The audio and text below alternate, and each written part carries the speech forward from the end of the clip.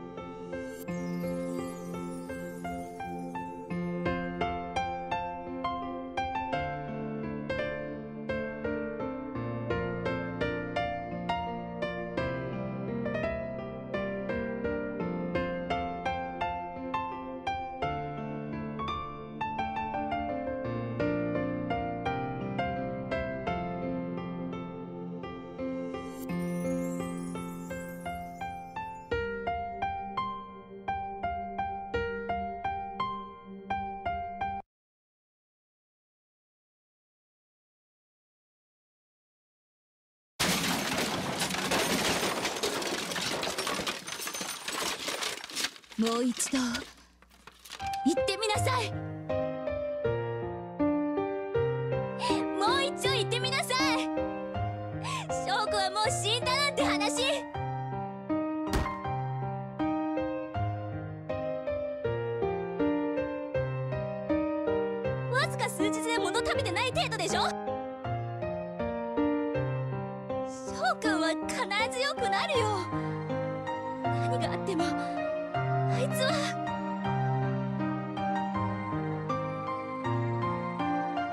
だから食欲ないって言ってるでしょ？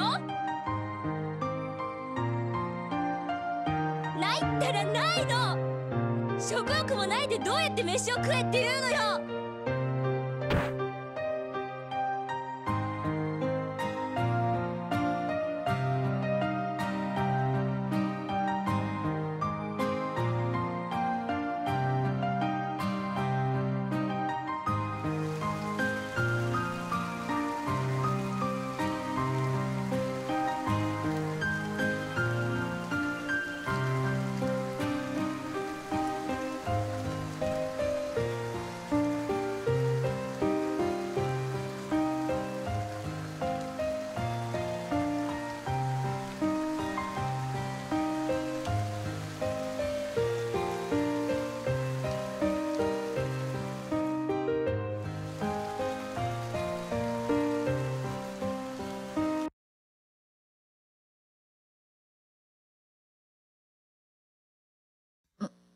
うん。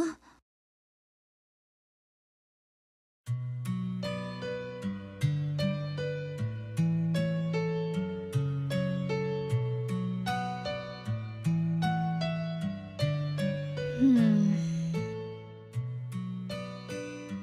まあ今回もやはりうかつだったわね。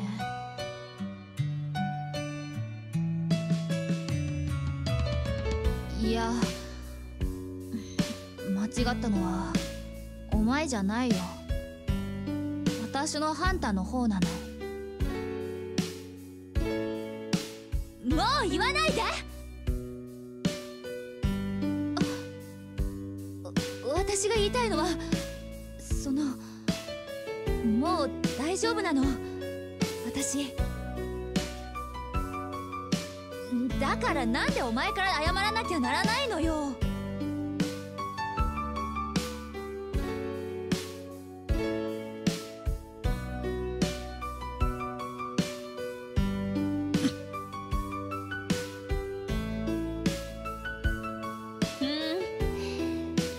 主の心の声はこの私がしっかり聞き取れたわ。もう謝んなくていいよ。あそれじゃあ。私のパートナーよ。今回は私たちが敵を甘く見たからこんな結果を招いたのだ。そういうことならばやることは一つよ。今回の戦闘で得た経験をきちんと整理して次の作戦をしっかり備えること。そう。今から2ヶ月後にまだ西高島の夜ゲーム大会の試合が1回残ってるの。その時こそ全てをかけて戦ってもらうぞ。翔くん。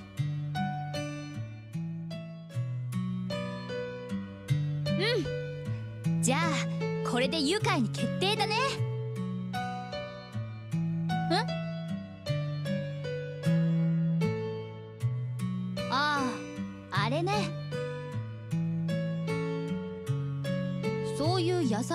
の作品はどうやら私に向いてないみたい。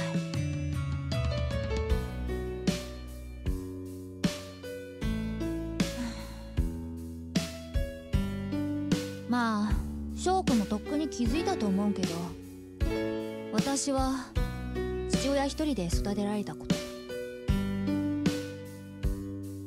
なあ翔くんの親って翔くんを置き去りにして旅行に行ってたっけ？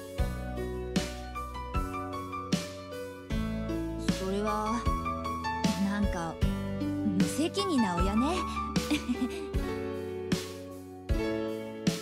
でもそういう状況とはいえ私ってちょっぴりあんたのこと羨ましいのよね。うん。私のママってさ私がまだ中学生だった頃から私と親父を捨てて遠くに行っちゃったの。ともとママと親父の仲は良くなかったからその時私は特に驚かなかったの。それどころか逆にそれが自然な結果って勝手に納得してた。全然。それは悲しいというよりほっとしたって感じかな。うちにいる時っていつも喧嘩ばっかししてるからなあの二人。親父ってさ気弱いし喧嘩でも負けちゃうからいつもママが一方的に叱ったもんな。ママは親父と結婚するのが嫌だったみたいだから私のことも。その時私思っちゃったのよ。ママにいない世界で親父と一緒に暮らせたらいいなって。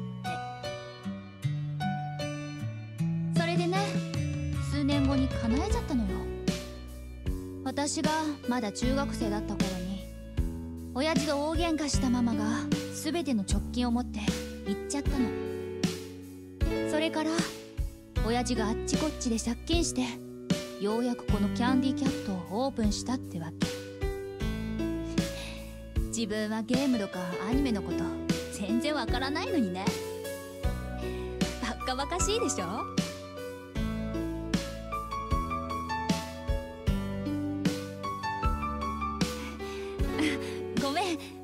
自分ばっかり話しちゃって。あ。嫌だよ。だから言ったでしょ。それほど辛いことじゃないって。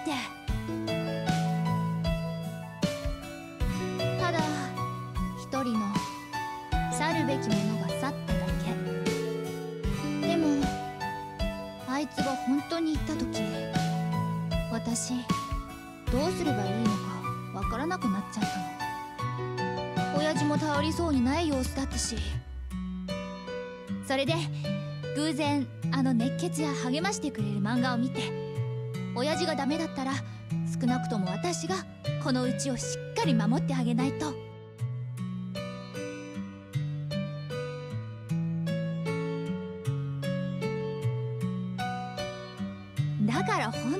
本当に羨ましいの。あんたのことが。今は両親がそばにいないけどでもいつかは再会の日が来る。でも私のママという役はもう存在しない。一緒に笑っていたのによくしてくれたのに。いつからか私のことを冷たい目で見るようになった。言っちゃうまで。私立ちたいの。自分の努力で未来を作りたいの。だから私はあの物語たちを愛した。でもそれに愛を注ぎすぎたか。私逆にみんなと仲良くすることがどんどんできなくなっちゃったの。もっといっぱい友達を作りたい。でも他の人と一緒にいるのがどうすればわからない。仲良くすることなんて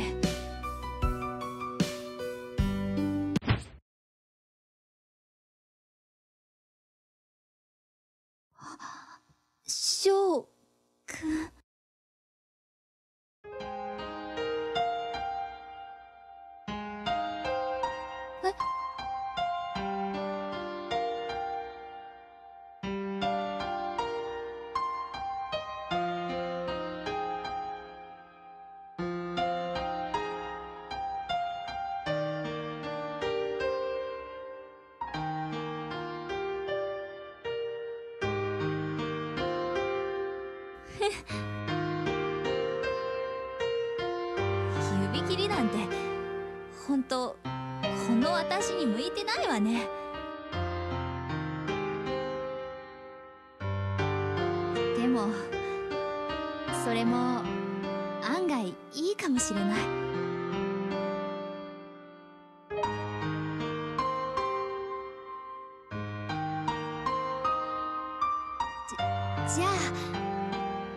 たちパートナーね。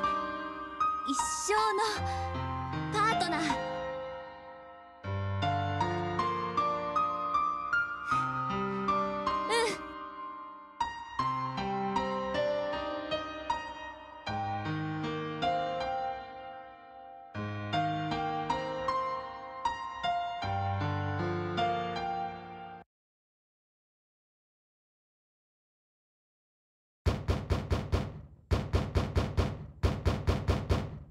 あもう。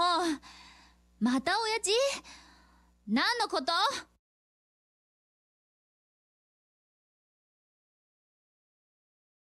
え？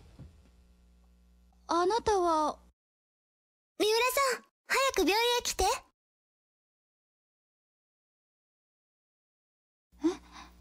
病院？少女の様子が良くなったみたい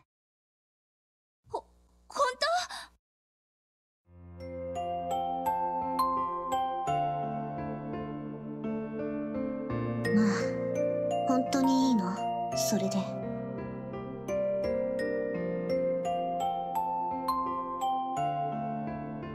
何をしたいのかよくわからないけれど彼女たちに希望を持たせて新たな希望の中に絶望を味わわせたいの。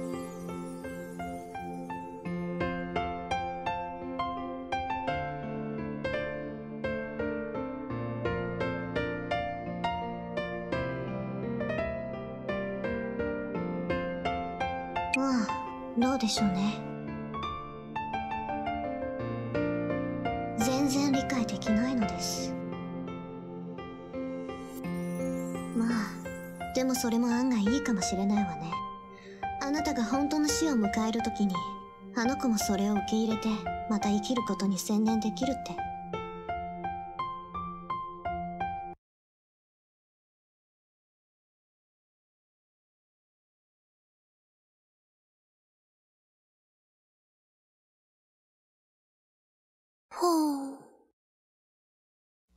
あの先生。つまり回復する可能性が大きいということなの？お願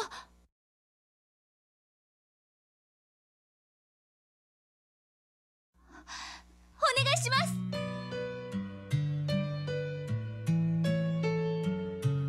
み三浦さん？お願い。翔くん。葉山くんは私の大事な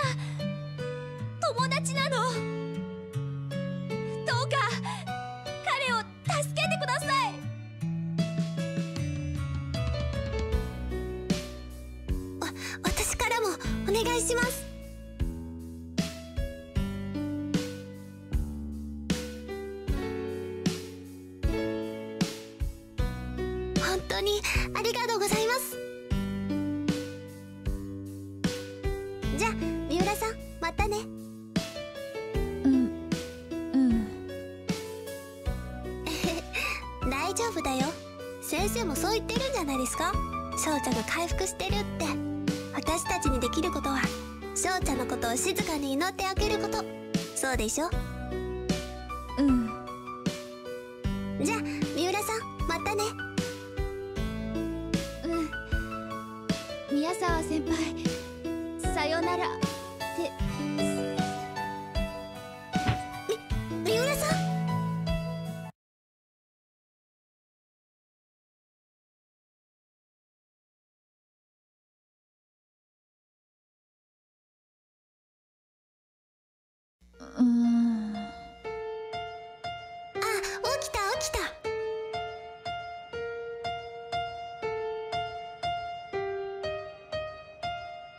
私これどうしたの？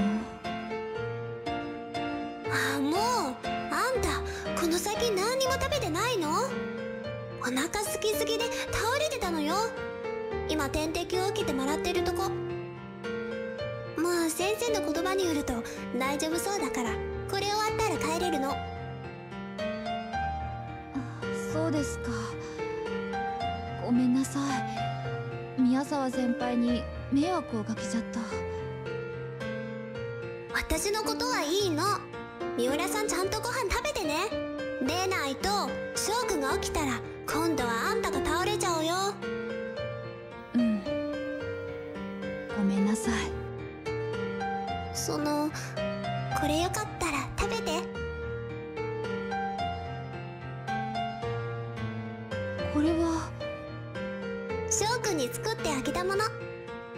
あいつは今食べられないからあなたにあげます。ありがとう。礼はいらないよ。私たち友達でしょ？ええ？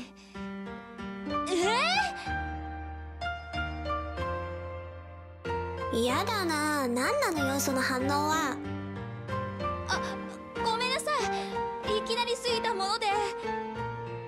きなり？ああ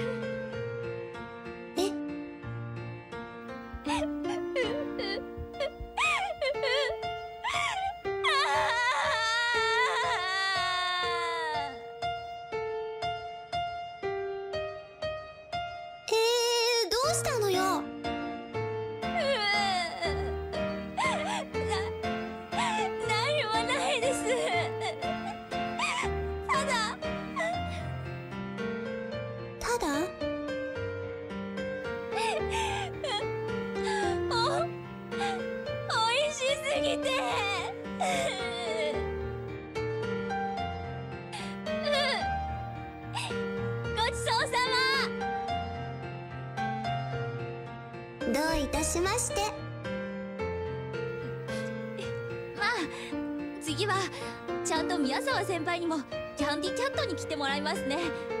私が自ら手料理しますから。はい期待しています。よし。じゃあ今度は宮沢先輩のお返しのために頑張ろう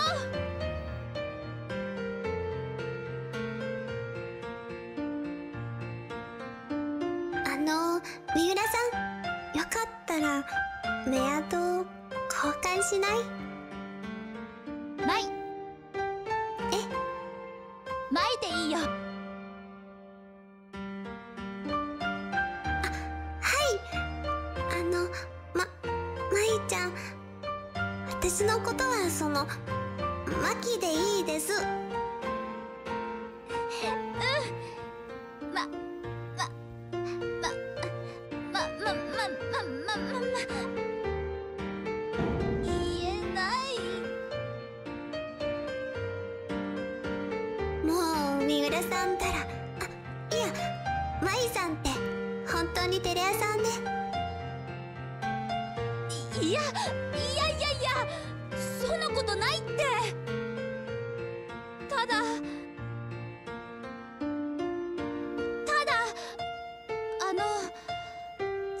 のお友達が初めててちょっと。だだから。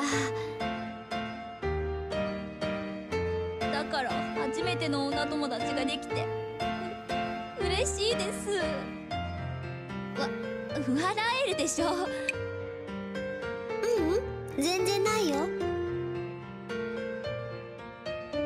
逆になって。友達少ないのにそんなに元気で明るいなんて。すごく親しやすいよ。あ。そうですよ。なんかそうピュアな感じで。遠慮なく付き合うことができるって。本当に素敵な人だよ。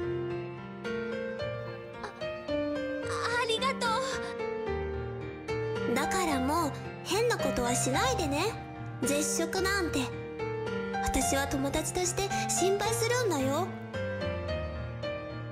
自分を大事にしない人友達に心配させる人なんて最低だからね。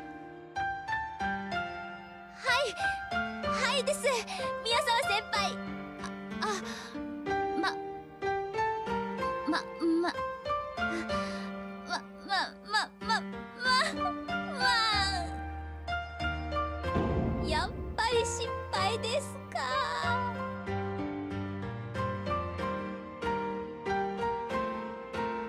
ああうん。